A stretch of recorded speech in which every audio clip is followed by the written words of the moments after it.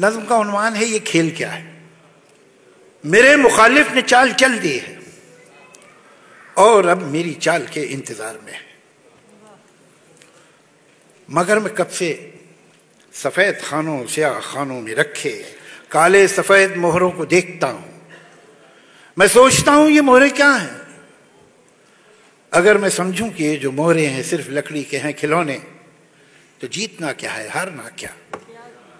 نہ یہ ضروری نہ وہ اہم ہے۔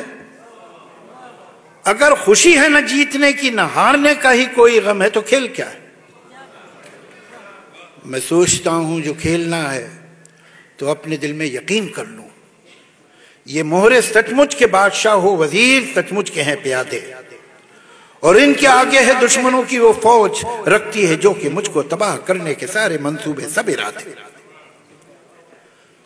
مگر میں ایسا جو مان بھی لوں تو سوچتا ہوں یہ کھیل کب ہے؟ یہ جنگ ہے جس کو جیتنا ہے۔ یہ جنگ ہے جس میں سب ہے جائز۔ کوئی یہ کہتا ہے جیسے مجھ سے، یہ جنگ بھی ہے، یہ کھیل بھی ہے۔ یہ جنگ ہے پر کھلاڑیوں کی۔ یہ کھیل ہے جنگ کی طرح کا۔ میں سوچتا ہوں جو کھیل ہے، اس میں اس طرح کا اصول کیوں ہے؟ کہ کوئی مورا رہے کہ جائے۔ مگر جو ہے بادشاہ، اس پر کبھی کوئی آنچ بھی نہ آئے۔ وزیر ہی کو ہے بس اجازت کہ جس طرف بھی وہ چاہے جائے۔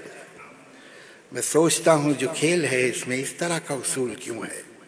پیادہ جو اپنے گھر سے نکلے، پلٹ کے واپس نہ جانے پائے۔ میں سوچتا ہوں اگر یہی ہے اصول، تو پھر اصول کیا ہے؟